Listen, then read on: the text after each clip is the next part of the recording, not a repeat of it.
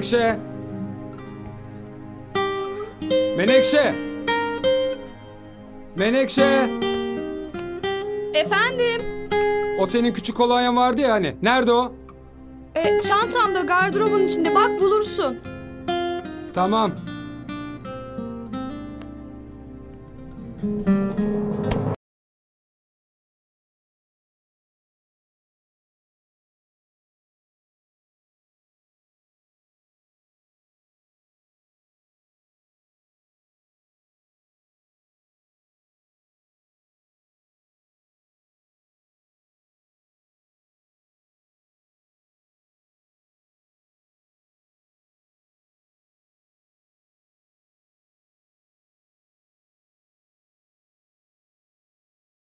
Geç otur sen. Çay şimdi hazır olur. Çıkıyorum ben. Kahvaltını yapıp öyle gitseydin. Menekşe. Allah aşkına saçma sapan mutluluk oyunlarından vazgeç. Ne bu şimdi? Domatesin üstüne reçel mi süreyim? Ben moralini yerine getirmeye çalıştıkça sen sürekli öfkeleniyorsun. Sırf sana destek olmak için Ben burada nelerle uğraşıyorum, sen neyin derdindesin? Önüme bir tabak reçel koydun diye mutlu mu olacağım? İçi geçmiş iki domates doğradın diye uçarak mı çıkacağım evden? Böyle yaparak gururumu kırıyorsun benim. Evine yetemeyen bir adam oldun diyorsun resmen. Farkında değil misin? iflasın acısı neden benden çıkartıyorsun Hasan? Ben mi batırdım seni sürekli bana bağırıyorsun? Sana o adamla ortak olmaman gerektiğini söylemiştim. Yeter! Her gün aynı şeyleri duymaktan sıkıldım. Ben bir çıkış bulmaya çalıştıkça üstüme gelme. O zaman gidip ortağına bağır tamam mı? Bana değil.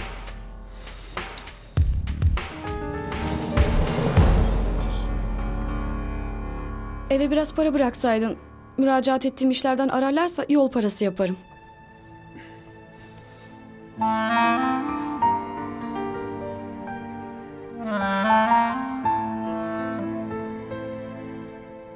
Bu kadar var. İyi de Hasan ben bununla hiçbir yere gidemem ki.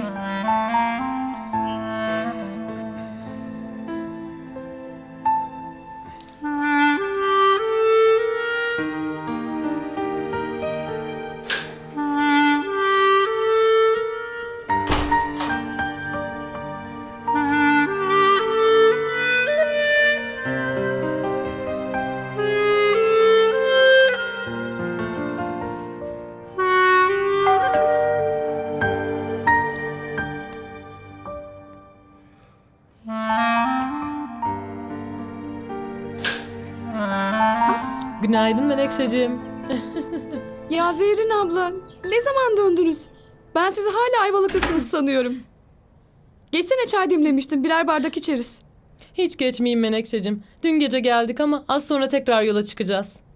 Samet abinin bir arkadaşının nikahına diye gelmiştik. O da iptal olmuş. Gelin kaza mı ne geçirmiş. Ay yazık vallahi. Şu dünyada neler geliyor insanın başına. Sen nikah diye yola çık, hastaneye git. Allah korusun. Hay Allah çok geçmiş olsun. Sağ ol Menekşeciğim. İşte hal böyle olunca hiç vakit kaybetmeden yazlığa geri dönelim dedik. Çünkü orada da yarın akşam Samet'in yeğeninin düğünü var. Yarından sonra geri döneceğiz kısmetse. Benim senden bir ricam olacak. Ne demek Zehrin ablacığım? Elimden gelen bir şeyse. Ev çok tozlanmış. Koca yaz yoktuk tabii. Neyse. İşte ben de yorgun argın gelip eve pis girmek istemiyorum. Parayı vereyim. Sana temizliğe gelen hanımı çağırıp şöyle dip köşe bucak temizletirsen çok sevinirim. Benimki başka bir yere gidecekmiş, gelemeyecek. Düğünler böyle kıstırınca şu işleri yapacak zamanım da kalmadı. Şey e, tabii temizletirim ne olacak? Senin başında durmana gerek yok. Yani gelecek hanımdan ötürü demiyorum da senin için rahat etsin diye söylüyorum. Bütün ziynetlerim, paralarım bankada. Ne senin ne de onun tedirgin olmasına sebep olacak bir şey yok yani. Ben sana yedek anahtarı da vereyim. Olur. Ay çok teşekkür ederim canım. Beni büyük bir sıkıntıdan Rica kurtardın. ederim. Ne demek Zerrin abla? Ben mi temizleteceğim sanki? Alt üstü bir temizlikçi çağıracağım. Elime yapışmaz merak etme. Tamam o zaman ben gideyim. Samet aşağıda çatlamıştır. Peki Zerrin ablacığım. Hadi canım tekrar teşekkürler. Hasan Bey'e Güle güle. selamlar. Güle güle. Sen de Samet abiye selam söyle. Hayırlı yolculuklar.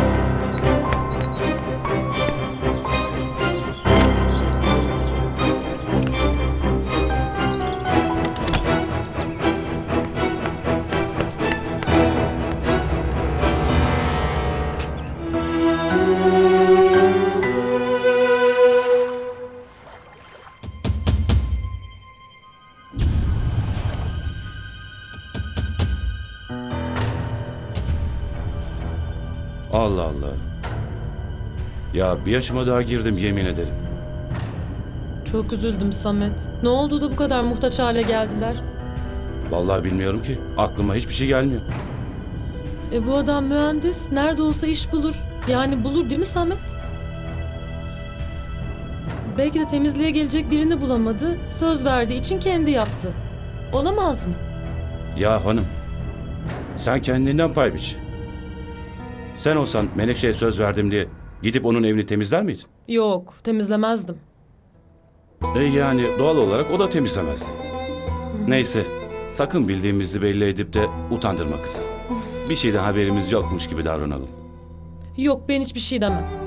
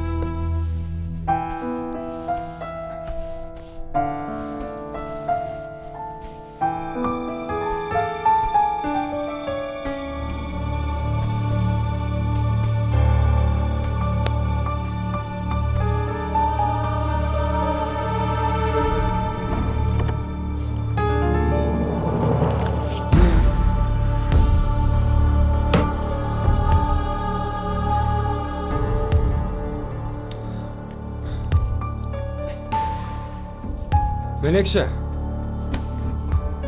Menekşe uyan. Efendim ne oldu çıkıyor musun? Bu para nereden geldi? Para mı? Ne parası? Bu para. Bu para nereden geldi Menekşe? Senin dolabından çıktı. Raftaki giysilerin altından. Hiç bilmiyorum ki Hasan. Belki de bir şey için koydum sonra da unuttum. Hatırlamıyorum ki. Ben de çok şaşırdım şimdi. Unutmuş olsan bu para dün de orada olurdu. Belli ki bu para oraya yeni konmuş. Bana yalan söyleme Menekşe. Bilmiyorum dedim ya. Belki hırkanın cebindeydi. Orada unuttum belki.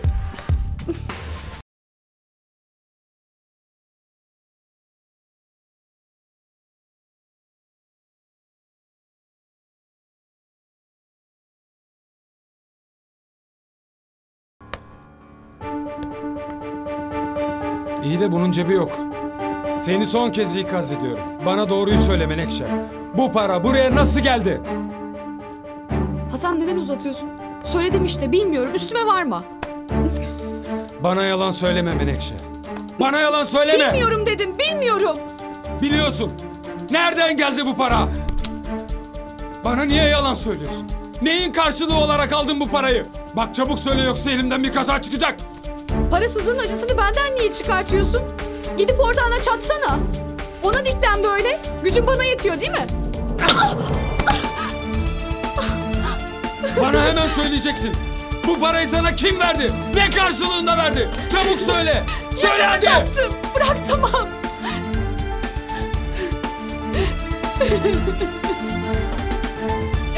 ne olur.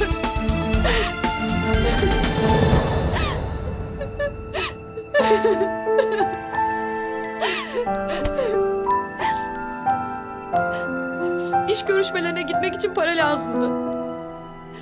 Sen de vermiyordun. Kızarsın diye söyleyemedim. O senin nikah yüzüğündü. Senin yüzüğün 200 liradan fazla ederdi. Peki üstünü ne yaptın? Gü- gün parasını verdim. Altın gününün. Ben iyi kalmıştım. Vermesem olmazdı.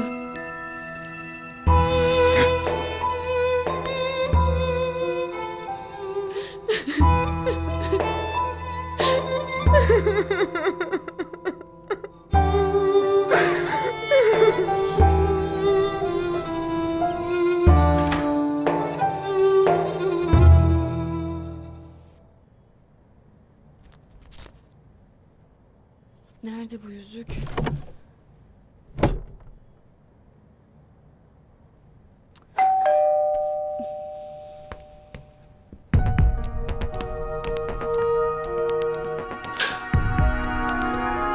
Hasan Bey'in çıktığını görünce komşumla bir kahve içeyim dedim.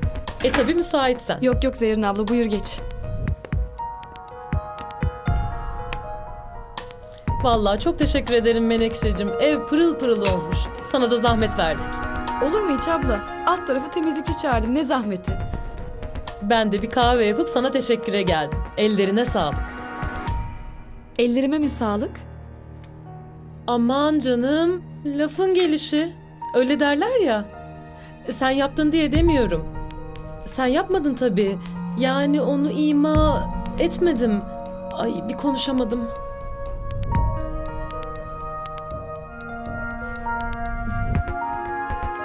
Biliyorsun değil mi? Özür dilerim Menekşe. Seni üzüp utandırmak istemedim. Bildiğimi belli etmeyecektim ama boş bulundum. Ne olur samimiyetime inan. Seni ne çok sevdiğimi bilirsin. Samet abi de biliyor mu? Bilmiyor. Bilmiyor tabii. Zehrin abla doğruyu söyle. Biliyor. Zaten ilk o öğrenmiş. Evde güvenlik kameraları var, harekete duyarlı. Samet'in işleri işte, kayıtları kontrol ederken görmüş, bana da gösterdi.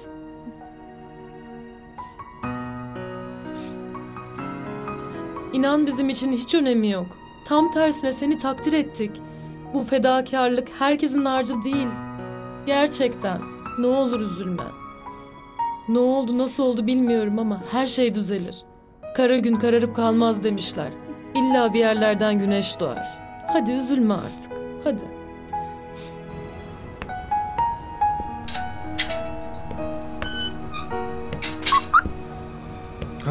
Hasan, Oo, Erdal Bey. Beraber iflas ettik ama senin keyfin yerinde anlaşılan. Ne oldu? Hani geçen hafta ödeyecektin paramı? haklısın. Haklısın da işte evdeki hesap çarşıya uymadı. Başlatma evinden de çarşından da. Ben paramı istiyorum. Beni mahkemelerle uğraştırma. Ulan ben o parayı senden alırım ama vaktim yok mahkeme bekleyecek. Bak, bir sakin ol. Bir beni dinle. Ben de seni arayacaktım zaten. Yukarı çıkalım. Paranın yarısı hazır.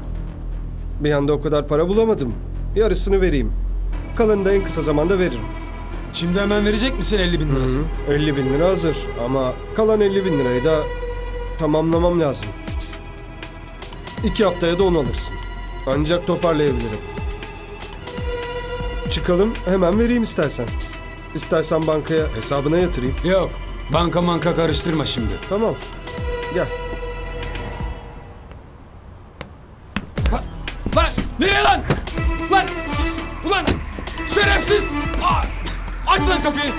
Aç lan! Aç! Aç lan! Aç şu kapıyı! Açsana lan şerefsiz! Lan nereye lan? Açsana lan şu kapıyı şerefsiz! Lan dur! Lan şerefsiz! Şerefsiz! Şerefsiz! Şerefsiz! Kayıtlar dedin. Ne oldu o kayıtlara? Eğer onları Hasan izlerse. Hayır hayır endişelenme. Samet abin hepsini sildi. Bizden başka bilen yok. Kimseye söylemeyiz. Ama zaten bu utanılacak bir şey değil ki. Düşünme artık ne olur unut bunu. Senin için yapabileceğim bir şey var mı Menekşe? Bak bir kenarda Samet abinin bile bilmediği 3000 liram var. Altın günlerinden biriktirmiştim. İstersen onu sana vereyim. İstediğin zaman ödersin. Olur mu? Acelesi yok yani. Eliniz tekrar bollaşınca Taşıma suyla değirmen dönmez Zehrin abla. Benim iş bulmam lazım. Ama hiçbir donanımım yok. Onlarca işe müracaat ettim. Ama hiçbiri kabul etmedi. En fazla asgari ücretle bir iki basit iş bulabildim. Ama onlara gidemem. Benim daha çok kazanacak işe ihtiyacım var. Ben bu konuda ne yapabilirim ki Menekşe? Eskiden olsa Samet abin seni dükkanımıza alırdı. Ama biliyorsun çok oldu kapatalı. Abla, senden saklayacak değilim. Biz her şeyimizi kaybettik. Hasan iflas etti. Zaten işi kurarken bu evde teminat göstermişti. Ev ipotekli yani. Ama bankaya olan taksitleri ödeyemiyoruz. Yakında bizi evden atabilirler. En azından evi kurtarabilirsem baştan başlayacak bir şansımız olur. Ama sokakta kalırsak temelli yok olup gideriz. Ailenize gitseniz. Onlar belki yardım edebilir size. Benim ailemin bana yardım edecek gücü yok. Hem durumumu öğrenirlerse yüreklerine iner. Hasan babasını çoktan aradı. Benim tek çocuğum sen değilsin. Neyin varsa ölünce paylaşırsınız demiş. Hey Allah'ım ya. Bu insanları anlamak da mümkün değil. Ya insan evladına böyle döner mi arkasını? Hayret bir şey. Abla, aslında benim aklıma bir şey geliyor ama senin yardımın lazım. Yapabileceğim bir şeyse neden olmasın? Abla ben evlere temizliğe gitmeye karar verdim. E Hasan? Benim tanıdığım Hasan buna izin vermez kesinlikle. Hem öyle tanımadığı insanların evine asla seni yollamaz. Zaten başta temizlikçi olmana müsaade etmez. Onun haberi olmayacak ki abla. Ben her şeyi düşündüm. Kreşi olan bir arkadaşım var. Hatta bana da iş verdi. Ama parası çok düşük olduğu için gidemedim. Onunla konuşup yanında çalıştığımı söyleyeceğim. Sanki parayı o veriyormuş gibi temizlikten kazanıp evin banka taksitlerini yatıracağım. Üstelik orada bir ayda kazandığım parayı burada işten bir iki haftada kazanırım. Senin çevren geniştir. Eski ahbaplarını yollasan bana yeter. Ha Zerrin abla? Yok yok bu iş olmaz Menekşe. Samet duyarsa bana çok kızar. Abla, lütfen. Bak ev elimizden gidecek. Hiç değilse birkaç ay için. Hasan parasını ortağından alana kadar. Ne olursun yardım et. Abla, Bilmiyorum Menekşe. Zerrin abla, sana yalvarıyorum. Evim, yuvam dağılıyor. Allah aşkına abla, yardım et.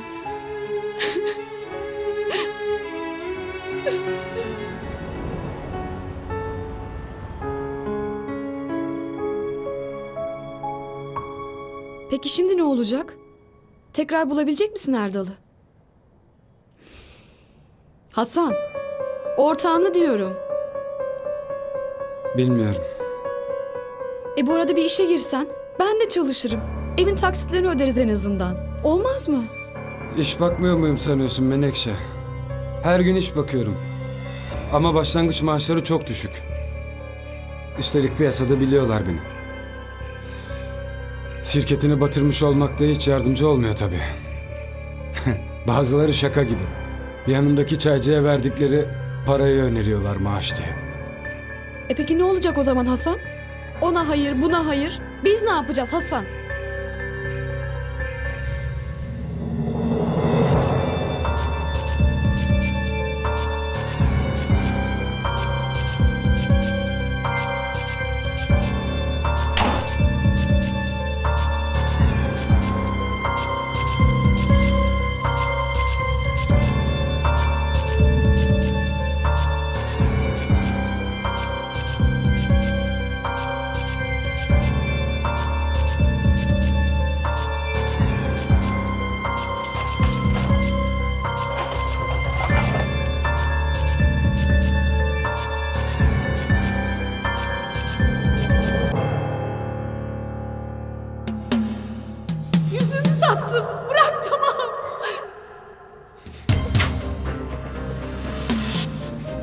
Arkadaşım aradı da. Bu ne? Ha? Bana yalan söyledin. Hasan. Hasan dur.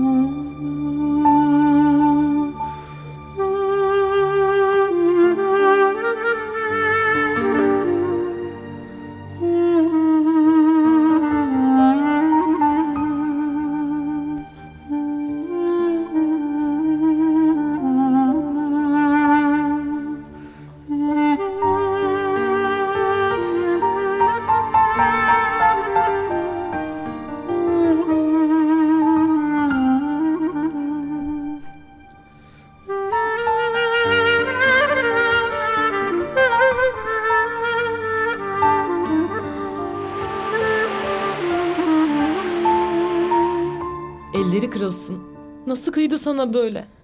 Yüzüğü bulunca onu aldatıyorum sandı. Bana vurduğundan daha çok canımı yaktı. Beş yıldır evliyiz biz abla. Beş yıl. Ne ben kocamı tanıyabilmişim ne de o beni.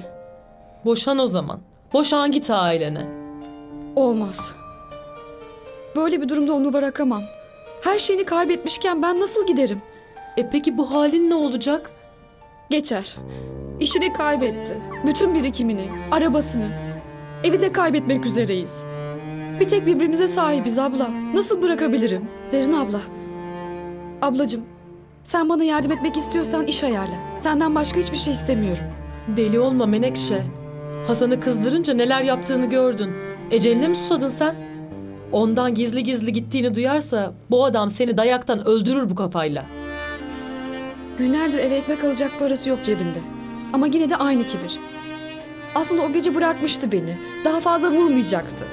Ama gerçeği söyleyince daha çok vurdu. Senin evini temizlediğimi söylemek hiçbir şey düzeltmedi yani. Beni rezil ettin diye bağıra bağıra dövdü durdu sabaha kadar. E peki şimdi ne olacak? Benim gidecek başka yerim yok abla. Baba evine dönemem. Onların yüzüne bakamam. İşim yok, eğitimim yok. Hiçbir deneyimim yok. Ben ya bu gemiyi yüzdüreceğim ya da bu gemiyle birlikte batacağım. Kısaca başka çarem yok. Bana iş ayarla sen. Temizliğe gidip evin taksitlerini çıkarmam lazım. Tek çarem bu. Hem Hasan beni seviyor. Böyle ilk sallantıda çekip gidemem. Nankörlük olur abla.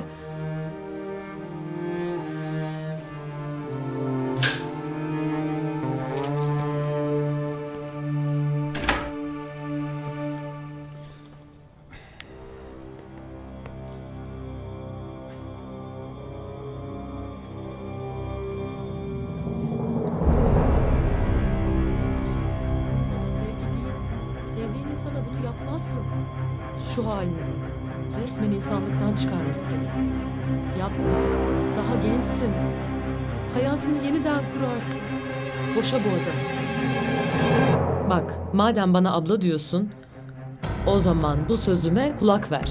Bir kere vurdu mu, bir kere katlandın mı buna, ondan sonra hep katlanırsın. Bir daha vurmaması için hiçbir sebep kalmaz. Gençsin, güzelsin. Hayatını bir başkasıyla yeniden kurarsın. Çoluk çocuğun olur. Bence ailene git. Yardım iste. Onlara gidemiyorsan ne bileyim bakanlığa ya da valiliğe git. 183'ü ara. İstersen beraber arayalım. Gerçekten yardım ediyorlar. Koruyup kolluyorlar, iş buluyorlar. Belki okula bile geri döndürürler seni. Yaşın küçük, öğretmen çıkarsın. Ne dersin ha?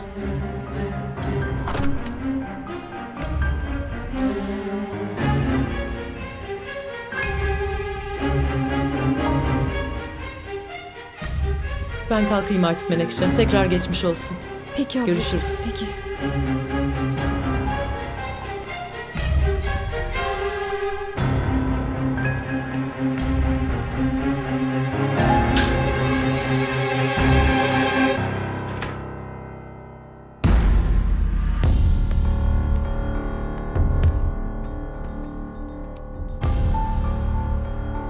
Kadın bir daha bizim evimize girmeyecek. Neden? Ne zararını gördük ki? Daha ne zararını göreceğiz be? Kadına bak. Benim evimde, benim karıma verdiği akıllara bak. Ama asıl suç sende. Ne anlattın da sana beni boşaman için akıl verdi? Bir şey dememe gerek var mı Hasan? Bana bakınca anlamıştır değil mi? Menekşe, o dilin çok uzadı senin. Sabrımı sınama. Yoksa susturmasını bilirim. İyi. Sustum o zaman. Döv gene. Belki bu kez şansım vardır da döverken elinde kalırım. Çünkü bu hayatı yaşamaktan bezdim artık. Bezdin demek. Para kazanırken iyiydi de beş kuruşsuz kalınca mı bezdin?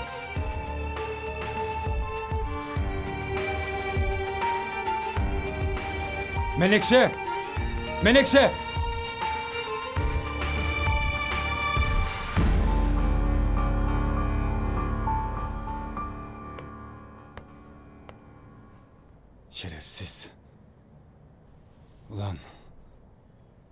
Ben burada gerilmekten tefe döndüm. Sen güzellik uykuna devam et.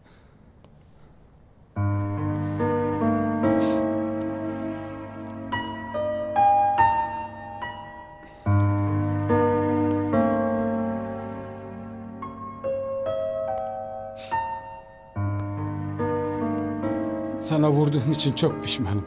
Beni affet.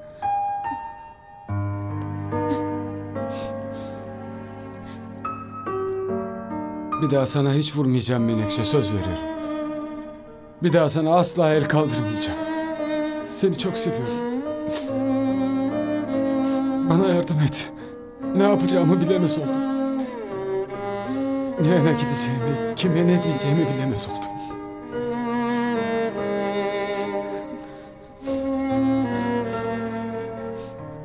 Bana yardım et. Her şeyi birlikte düzelteceğiz Hasan. Her şey düzelecek. Yalnız değilsin. Ben varım. Ben senin karınım. İyi günde de, kötü günde de yanında olacağım. Ne yapacağız Menekşe? Hiçbir çıkar yol bulamıyorum. Biz ne yapacağız? Ne yapacaksak birlikte yapacağız Hasan. Ben de çalışacağım. Sen de az çok demeyip bir işe gireceksin. Önce evimizi kurtaracağız. Sonrası kendiliğinden gelecek.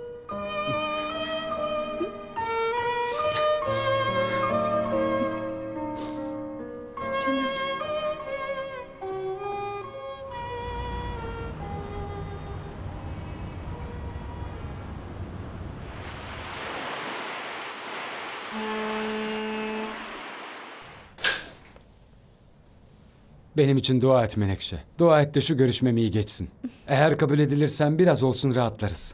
Edeceğim merak etme. İnşallah bu sefer başaracaksın.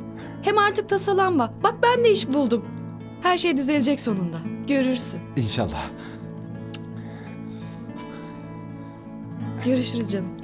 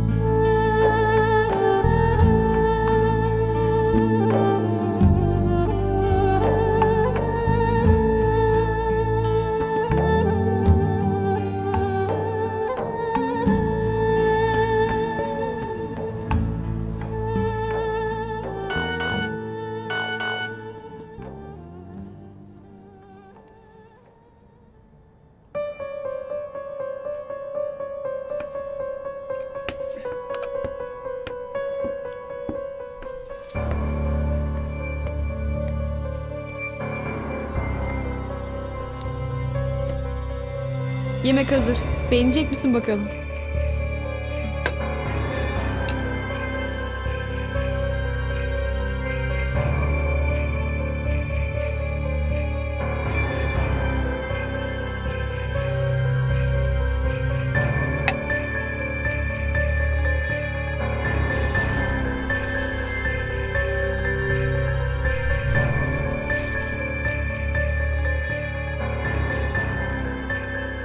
Ne bu? Maaşım.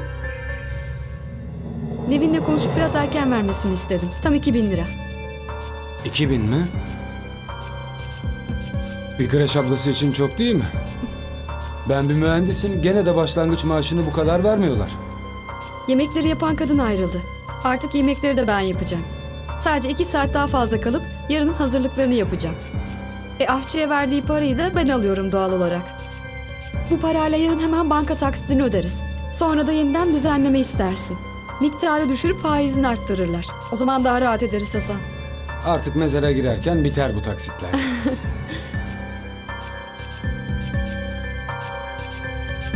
Yesene.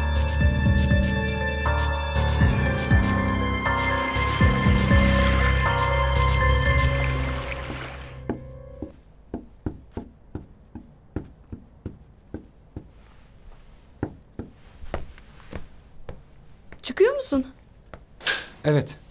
Geçen görüştüğüm firmadan aradılar. Özgeçmişimi beğenmişler. Yeniden çağırdılar. Çok sevindim hayatım. Hadi hayırlısı olsun. Sen ne zaman çıkacaksın? Ben de birazdan çıkarım. Tamam. Hadi hoşça kal. Güle güle canım.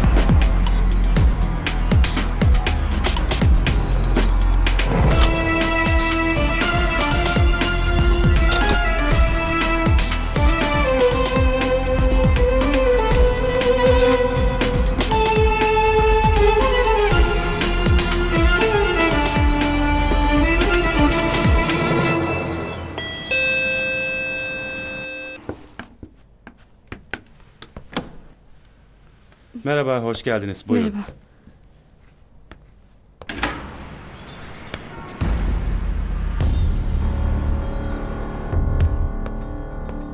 Önce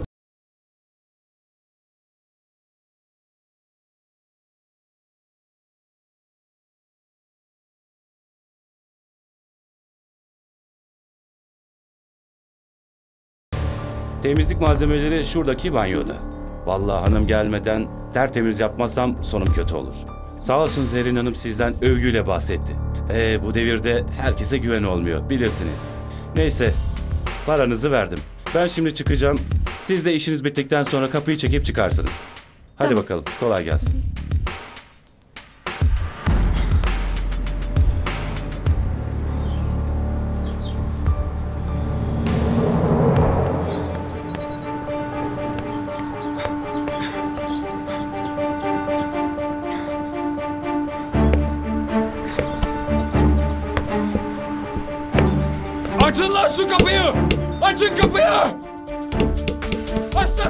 Allah Allah.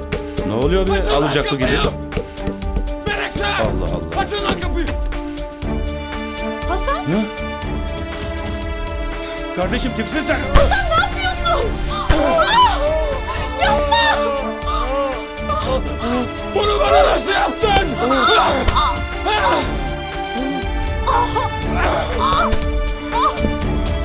Nasıl yaptın?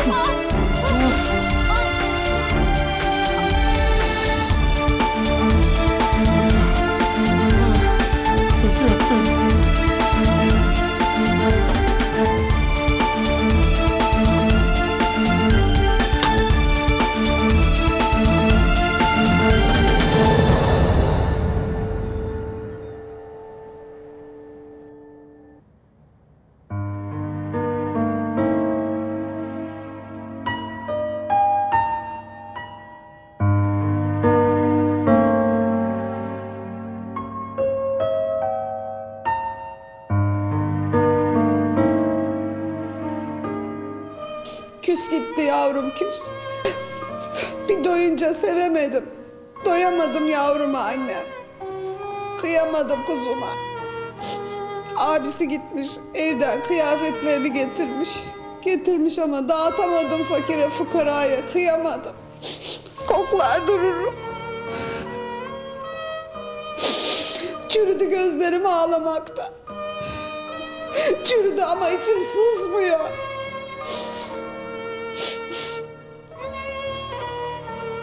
Bu ne iş ben anlamadım. Kocalar hep öldürüyor kadınları. Nasıl iş bu? Allah'ın verdiği cana kıyıyorlar. Kolayla mı büyüyor evlatlar? Ne zorluklarla büyüyor, nasıl doğuruyor anneler onu?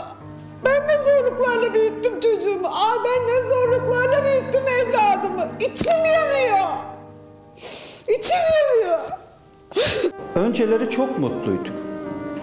O kadar çok mutluyduk ki. Sonra bu sıkıntılar başlayınca koskoca saray gibi evde böyle dertler içinde kaldık. Sefaletti, perişanlık, yoksulluk derken ister istemez ilişkimize sıçradı. Hani bir laf vardır ya, Allah kimseyi alıştığı şeyden geri bırakmasın diye. O sözün kıymetini şimdi daha iyi anlıyorum. Çok pişman, çok. O kadar çok pişmanım. Çok pişmanım, çok.